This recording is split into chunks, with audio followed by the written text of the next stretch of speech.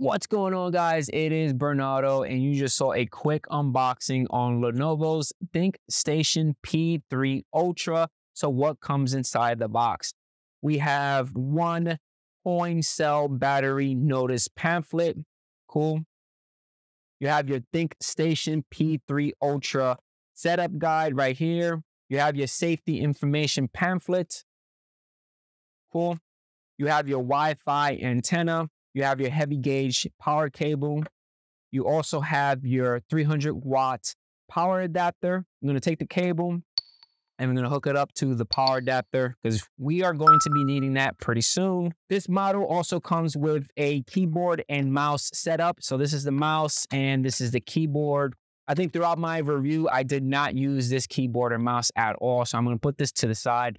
And then we have the beautiful Lenovo ThinkStation P3 Ultra weighing around 6.3 pounds with a thickness and height, depending on how you have it. I have it laying down right now, so the height and thickness is around 3.43 inches.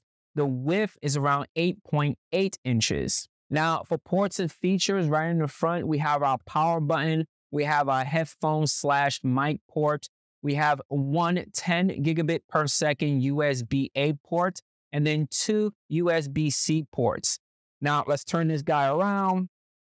Awesome. Now on the back side, we have one 2.5 gigabit per second RJ45. We have an additional RJ45, but this one is a one gigabit per second. We have three display ports and four 10 gigabit per second USB A ports. Now, depending on how you get it configured, this particular model that Lenovo sent us to review comes with the NVIDIA RTX 4000 graphics card, and then last but not least, the power connector. All right, so let's hook up a keyboard, a mouse, a display, power this guy on, and check out some of the specifications and go over my overall experience on this machine. All right, so the ThinkStation P3 Ultra is set up with a keyboard, mouse, and monitor. Make sure you hook up the Wi-Fi antenna at the back I'm also using a adapter to set up the monitor to the computer. I'm using a mini display to display port. So, you know, you're able to use a native display or a native mini display. It all depends on your monitor. Now, for the power button, it is actually located right here. Uh, and before I even press the power button, you are able to have it standing up or flat down. It is really up to you. I like it standing up. It looks cool. So let's press the power button and boot it up.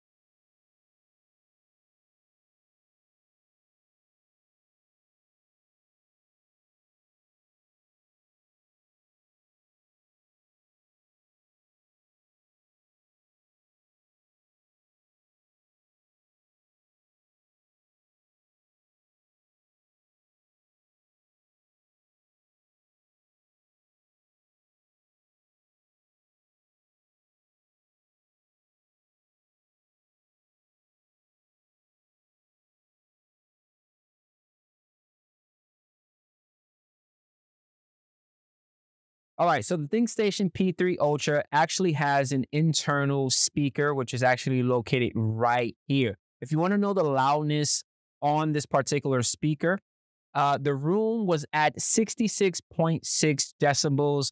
When I played some music on YouTube at 50%, it jumped up to 84.2 decibels, which was an increase of 17.6.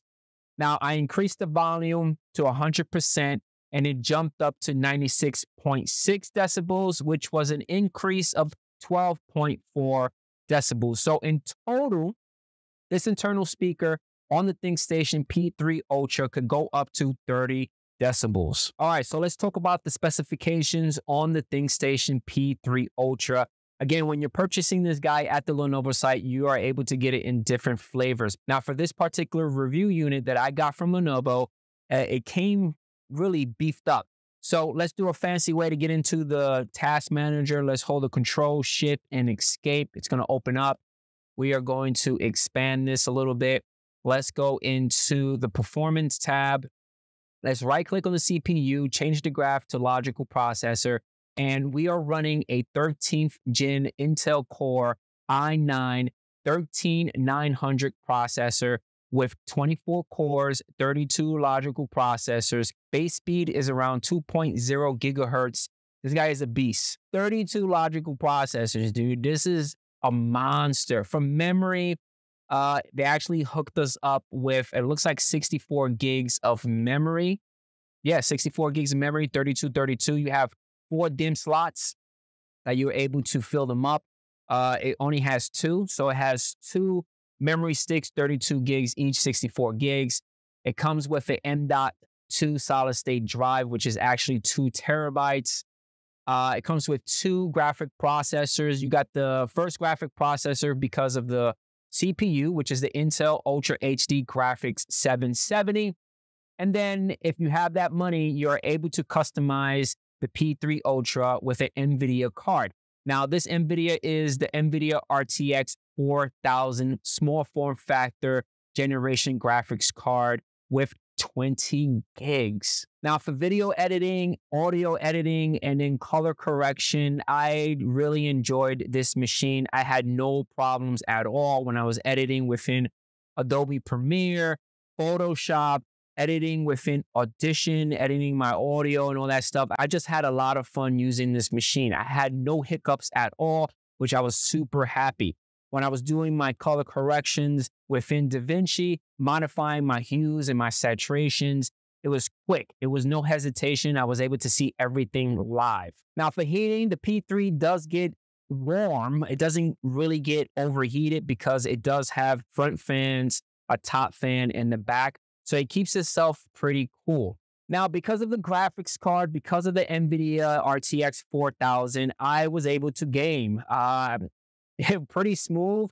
If you upgrade a better display, because this display is not one of those gaming display, you are able to take advantage of the graphics card and play games. I play Street Fighter on it. It was pretty smooth. I feel like if I had a better display with a higher refresh rate, uh, I, have got you know, better colors and a better gaming experience. But the P3 Ultra is capable of handling high intense gaming. Now, for fan noise, I did notice a weird fan noise, and it all depends on what you're doing. When I was doing video editing and uh, using Media Encoder to render, not even when I was using those programs, there's sometimes when you're not doing anything on the machine, it has this weird noise, which I actually capture some B roll and I'm going to slap it right here so you guys can actually see it and hear, not actually see it, but hear it, right? That doesn't make any sense. You're going to hear the noise.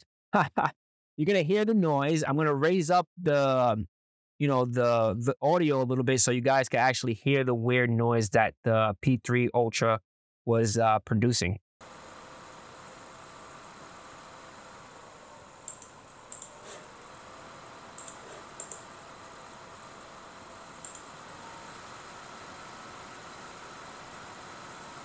Now, power consumption, which is pretty new for me to add within my reviews, uh, I actually hooked up a wattage meter on this particular machine.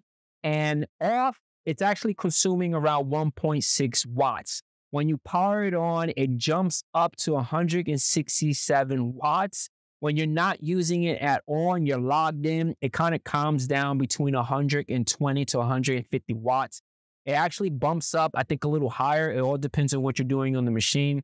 Uh, I did not test the wattage when I was rendering, but I really feel like if the graphics card is going to kick in, it's going to consume a lot of power and the wattage is going to go up. Okay, because the P3 Ultra has two graphic processors, it has the Intel Ultra Graphics 770 and it also has the NVIDIA RTX 4000 uh, you are able to go into BIOS and configure it uh, because I think by default, the machine will automatically adjust which graphics card to use. Uh, you could switch between PEG or IGD. Now, PEG stands for PCIe graphics device, which would be the NVIDIA RTX card, or you could do the IGD, which is the internal graphics device which is the Ultra HD Graphics 770. Now, by default, out of the box, it comes auto. So the machine is going to switch it for you depending on what you're doing. So if you're doing a lot of gaming, hopefully the device will switch it over to the, you know, the RTX graphics card. if you don't want to take the chance of the machine actually doing it for you, I would kind of recommend going to BIOS and then switch it to uh, PEG, which is, you know, PEG, PEG stands for PCIe graphics device. Switch it to that, and your machine will utilize the graphics card, the NVIDIA RTX graphics card, all the way. All right, so let's conclude our unboxing slash review on Lenovo's ThinkStation P3 Ultra. Now, let's start off with the displays because this guy comes integrated with three display ports and with the graphics card, you get four additional display ports. So seven in total. So you can have seven monitors hooked up to this machine. That is ridiculous. That's crazy. I didn't have seven monitors to test that out. Uh, I was lucky to have at least one monitor and hook it up natively to the display port or to the mini display port, which I was happy that I had one at home. Now, for overall experience on this, I had a lot of fun. I was able to use Photoshop, um, Lightroom, Adobe Premiere, DaVinci, uh, VMware, Workstation. I created like multiple virtual machines, a lot of Linux boxes. I was able to do a lot of things at the same time, and the machine handled it with no problem. This little guy is a beast. I mean, come on, with all the memory, the processor, uh, the M.2 solid state drive, it, it's able to handle whatever you throw at it. Plus, you're able to game with it. That's awesome. Now, upgrading this guy because it's so small, you're probably saying to yourself, it's going to be really difficult to upgrade it. Not really. There is a, a, latch at the back that allows you to remove the casing and you are able to see all the parts. You're able to replace the memory, upgrade the memory, upgrade the M.2 solid state drive. I believe the this solid state drive has some type of heating mechanism on top of it to keep it nice and cool. And also you are able to upgrade the graphics card as well. Just got to make sure the graphics card that you purchase is a low profile and it fits this particular model. The size, it is small, so you're able to fit it anywhere nicely. Uh, I don't recommend that if you have it flat, you put your monitor on top because then it covers the vent that is at the top. You don't want that. So most likely you might have like a, you know, like a monitor stand and this would be under it. And then you have your monitor on top of the monitor stand. That would look pretty cool. Like I said before earlier, I like it this way. So that's pretty awesome. I like it standing up. It just looks cool. Now for pricing, if you're wondering how much this little guy cost. It all depends on how you get it configured. So let's head into the Lenovo site. And the starting price is under a thousand dollars. Uh, get out of here, support. I don't need support. Uh, yes, end it. Get out of here. So starting at under a thousand dollars, and it all depends on how you get it. So I'm going to let's scroll down and let's get into the models right here. So starting at under a thousand dollars, this is what you're gonna get. You're going to get the 13th gen Intel Core i3. You're going to get an i3 processor, integrated graphics, 8 memory, 512 solid state drive. Yeah.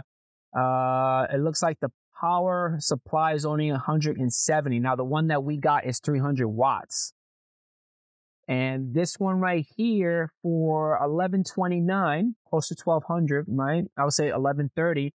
This one will give you the i5, 13th gen, 16 gigs. They bump up to 300, you know, watts, 512 for a solid state drive. Doesn't look like they give you the NVIDIA card. Now, when you, it goes up a little higher, when you get up to the 1269 range and up, this is where they include, again, this one right here for 1269, i5 still, you're going to get the NVIDIA T4, 4 gigs, 16 gigs, 512 for solid state drive. Okay. For around, let's say 1500. Let's round that off 1500. For the 1500, you're going to jump up to the i7 processor, which is good. NVIDIA T400, 4 gigs, 16 gigs of memory, 512 for the solid state drive. Okay. So for $2,400, you're going to get the following. You're going to get the 13th gen Intel Core i7 processor. Uh, the NVIDIA RTX A 2012 gigs. It looks like the one that I have is specially customized because it doesn't look like they got the RTX 4000 on online, right? Uh, it comes with 64 gigs, one terabyte solid state drive. You got the 300 watt power supply. Pretty expensive, you know, 2500 depending taxes and all that stuff. But overall, guys, I did enjoy using this guy at the lab. Uh, I really enjoyed like editing my 4K and gaming on it. It was pretty smooth. The only problem is, is that weird noise that it produced. And it produced it when nothing was happening, which is really weird. And that's it. Hopefully you guys enjoyed this review slash unboxing on Lenovo's ThinkStation P3 Ultra. And I catch you guys on the next one. Peace out.